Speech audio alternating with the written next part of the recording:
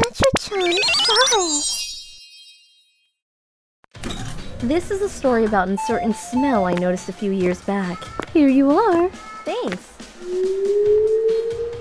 Ugh, the last person who sat here was using way too much perfume. Huh? I don't smell anything.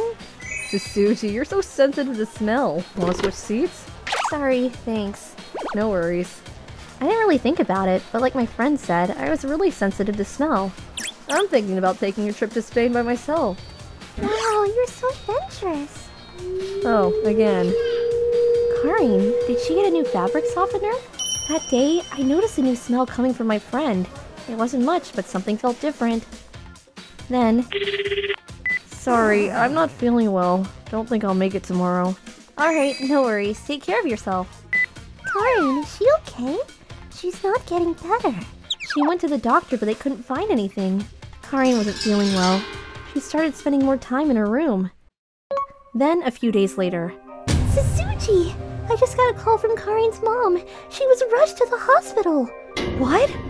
Karin was hospitalized when they started accepting visitors? We went to see her. Karin, can we come in?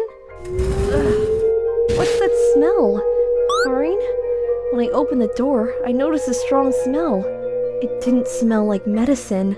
Yuri, Susuji, you came. Thank you. It was a thick, sweet smell. It was really unpleasant, and Karin's room was filled with the scent. Karin, she seemed really sick. Hope she's okay. Yeah, I was scared. I couldn't ask Yuri about that smell. I remembered something. I recognized that smell from somewhere. Three years ago, my dad passed away when he was in the hospital. had that same smell. It wasn't because of his age, and it wasn't coming from the medicine he was taking. I always wondered what it was. And another thing. Ah. What's wrong? Teacher, the science room. It happened again. There's a dead rat. Not again. My elementary school was pretty old. There were holes everywhere. Small animals would often crawl in and die inside the building. I couldn't see it, but I could smell it. That nasty, sweet smell. It was a smell of death.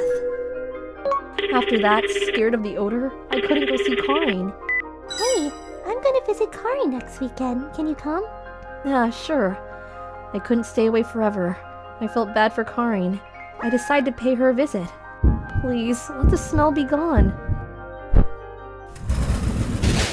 Oh, Susuji, Yuri, you came. Huh? Susuji? Karin looked much better, and that smell, it was gone. Karin. Karin. Whoa, Susuji? I'm so glad you're okay. Susuji, you're so dramatic. The smell was completely gone. Then Karin beat her illness and got out of the hospital. She no longer had the odor after that. Here, souvenirs from Spain. Thanks! But, ugh, what if I noticed that smell again? And what if that person was sick? The thought really scared me. I started keeping my distance from people so I couldn't smell them. And I became overly sensitive to my own odor while I was changing.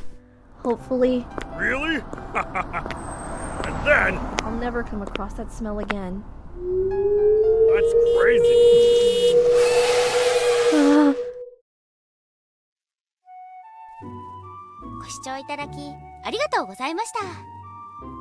刺繍がしてもカリンさんは無事だったので必ずしもなくなるわけではないんですね。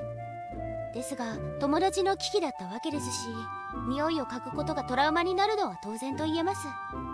そういえば虫歯って特有の匂いがしたりしますよね。匂いがする原理はそれと同じなんでしょうか。